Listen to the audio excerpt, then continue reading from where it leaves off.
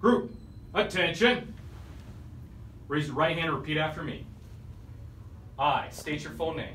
I, Hale John O'Connell Estes, Do solemnly swear do solemnly swear that I will support and defend that I will support and defend the Constitution of the United States the Constitution of the United States against all enemies, against all enemies, foreign and domestic. foreign and domestic, That I will bear true faith that I will bear true faith and allegiance to the same.